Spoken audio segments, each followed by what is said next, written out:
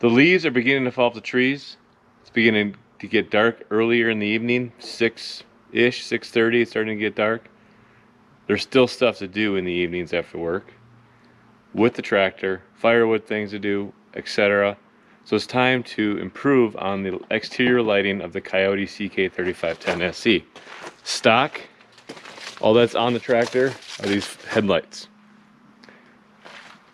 And the turn signal flashers on the on the ROPS. What I'm gonna end up doing here is taking these ROPS lights and moving them down to the other holes that are covered up with a sticker on the fender on either side. Move the wiring harness down below. And I'm going to install some auxiliary lighting on the ROPS in these these locations on both sides. I'm gonna put two forward lights and then one reverse light all on one switch. I'm gonna install that on the ROPS so I can have some auxiliary lighting to really light up what's in front of me. The issue I have with the current headlight setup on this tractor is if you got a load with the forks or whatever on the front, you can't see where you're going or what you're doing. So having some lights that are a little higher will help the the vision capabilities in front of you. Now ideally I'd like to have them on top of the ROPS, but I found that majority of the time, since I've owned this for almost a year now, that I keep the ROPS down. I don't do a lot of side hill uh, loading. If I need to, if I get in on some hills, I'll put the ROPS up. But for the most part, because of where I'm, I store the tractor, I put keep the ROPS down. So I'm gonna install the lights on these these mount spots and uh, make it a little bit better to see now that we're getting shorter daylight hours here's the lights I, I purchased. Here's one of them I just kind of temporarily hung up. There with some zip ties up on the ROPS here to see what it would be like. But I, I want to move this light and mount it here. These lights I purchased from Tractor Supply Company. They have a bunch of exterior lights. They've got a, a switch, the whole lighting harness that you can purchase with a switch and connects to the battery, runs back.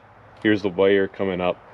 And I had already installed the whole switch and wiring harness last year when I temporarily hung these on top of the ROPS for some of the winter work I did last year.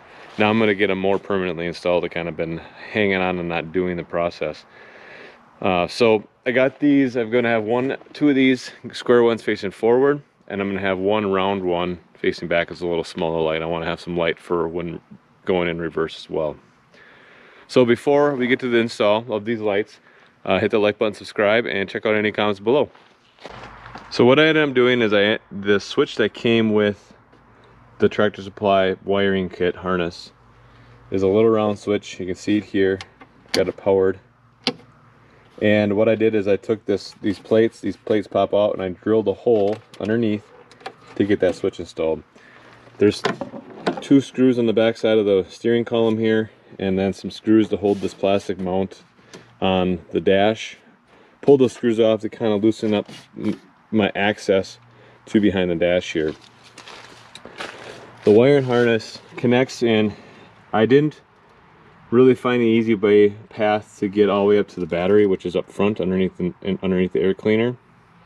What I ended up doing is just connecting the wiring harness. So here we go. Here's the wire coming from the, the dash. I just connected it directly onto the starter wires because that's still hot connected to the ground side of the wire and then also the the hot side of the wire for the starter ran that wire harness it goes up inside through the back into the dash and then it connects into this this light switch then from this light switch it goes back out out out underneath underneath the frame all the way through. And I've got it coming back along the ROPS. Here's the wire again, right there.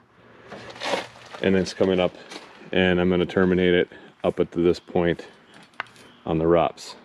What's nice about this wiring harness that you can purchase from Tractor Supply They're quick connect fittings, just you know positive negatives, and they plug together. Tractor Supply has splitters, uh, some other stuff, other things that you can make this wiring work. I was there the other day, they didn't have a lot of uh, selection as far as what I was looking for to make my proposed system work. So I'm going to be doing some custom wiring, some splicing and cutting and soldering to get my connections work, working together. All right, so here's the lights that I got. We got two of these square lights. They're 22,000 lumen square work lights. They're five inch lights, 45 watts. And then I also have this one single round light for my reverse light, which is a 1560 watt or lumen light. This is the round light compared to the square light. 50,000 hours, this one's a 30 watt light. So I also got, with the lights that I purchased, here's some pigtails that we can use to splice into some things, extend our wiring harness. I also picked up a while back this splitter.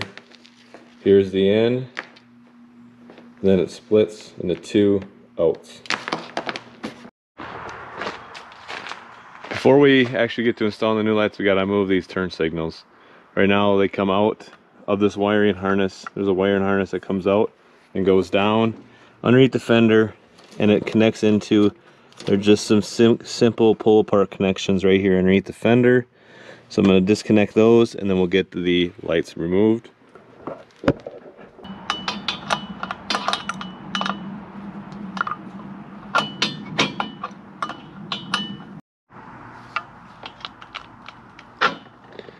Get the nut and the lock washer off. Just pull the lights off, pull the wiring harness out. And it's a tight fit with the two connectors, so just pull one through at a time. Voila.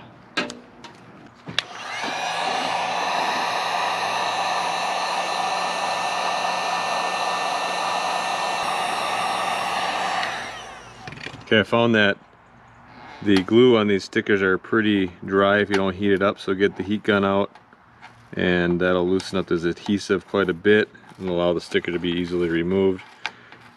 Some of the adhesive stay behind, stays behind, but the majority of it's going to be covered by the bushing on the new on the light that's going to be pushed down here. Once we get the sticker off, We'll take the light and feed the wiring harness back into the hole, one, one connector at a time. I'm not too concerned about that glue because this piece will cover that up. Slide that baby in there. There we go. Looks like it's made to be there. Here's the driver side light install finalized. We have the light coming through and I just have the wiring harness. I'm going to get you up in here a little bit sideways. Just the wires bunched up and I reconnected the, the connections and should be good to go. Get the other one done and then we can move on to the install. So I set the setup one light in that bracket and I determined that they're a little too low yet in that, that location. I'd like to get them up a little bit higher, maybe a foot, 10 inches above these mounting locations. So I took some of this flat stock that I had here. It's probably 3 16ths by inch and a half. And I painted it, cut it about a 12 inches long. And I'm just going to drill some holes into it and mount it on the inside of these brackets, these L brackets. Then I'll mount the lights to these this stock. This will be a better picture on this side. Drill a hole through it right here and then mount the lights up on the top end.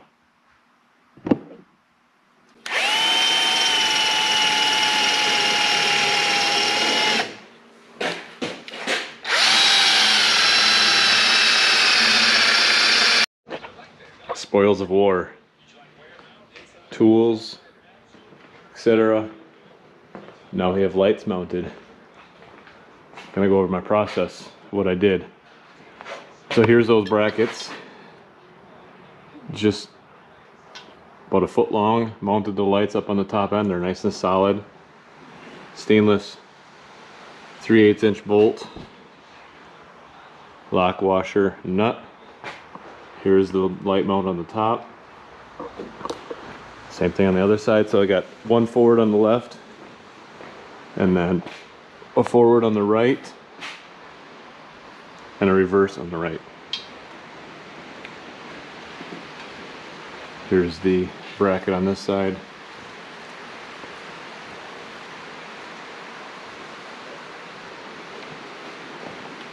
So for the wiring, so we brought the uh, harness, wiring harness comes out from the switch and this wire here. And I cut the wire and I put some connectors in the wiring harness back here. I'm going to tape this together now. Uh, now it's easily removed if I need to. But I just have some female male connectors here. And then on this end of the connector I have two wires coming out. So this is my first split to go. One goes up to the left side, the driver's side, and then the other wire goes to the passenger side. So I've got the original wire that I had, harness, going up to the passenger side, and then this is just a black extension cord, two wire extension cord on this end, going back underneath the fuel tank.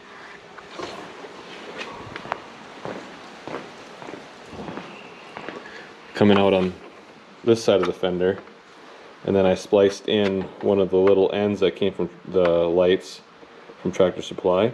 So that's just a, a soldered splice and then some heat sh shrink wrap and or heat shrink and some electrical tape. And then here is a splitter then that I have that I purchased from Tractor Supply. So it just connects into the fitting.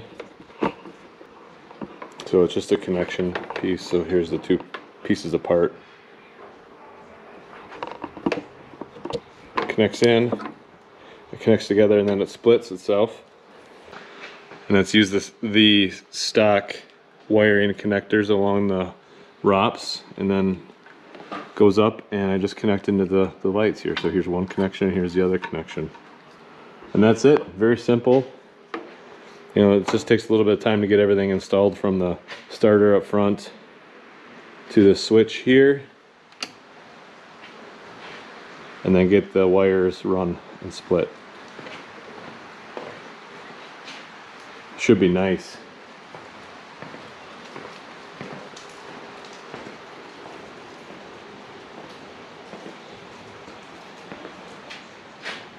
Switches off. And again, that was the wiring comes from the starter over here, goes up through the console, comes with a switch, and from the switch back underneath, gets split. And then from there goes up, gets split right here, from a single to double wire, one feeding the left side, one feeding the right side, and then it gets split again right there in that connector to those two lights on top. Now I'll just clean up the wiring a little bit and that should be it. So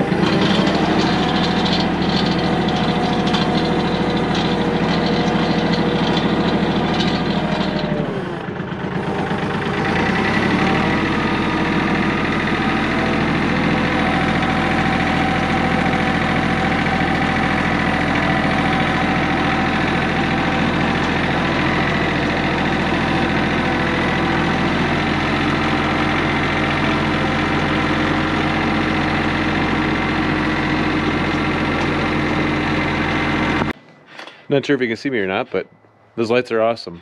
Now that we had get got to test them at night, I can really see a lot towards the front, and I can see a lot towards the back.